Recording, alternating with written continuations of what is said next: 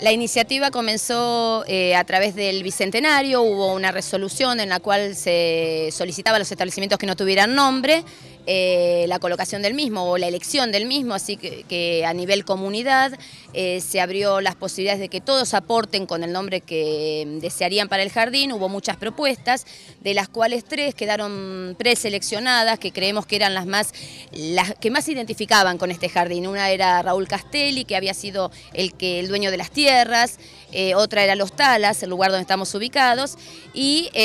la tercera moción era el Ombú, que realmente es el que después se eligió por votación de la comunidad y por unanimidad prácticamente. No solo porque tenemos el ombú, eh, tan característico que cada vez que cuando uno nombra dónde trabajas, dónde van los nenes al jardín, vamos al jardín, el del ombú.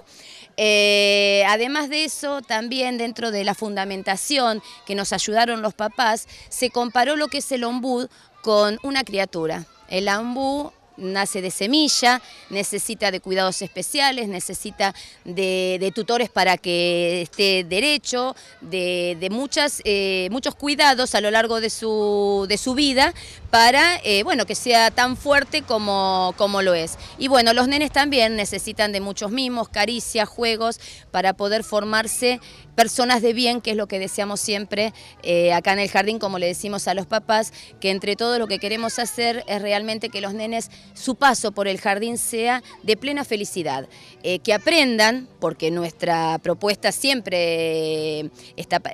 se necesita aprender contenidos, pero bueno, que realmente lo hagan a través de su felicidad, que sean niños felices y que el día que pasen, cuando ya eh, pasaron de nivel, bueno, siempre recuerdo que dejaron esa florcita que podría ser en primavera una florcita del ombú, ellos dejaron esa florcita en el establecimiento que siempre, bueno, siempre queda los recuerdos de los, de los niños que han pasado por acá.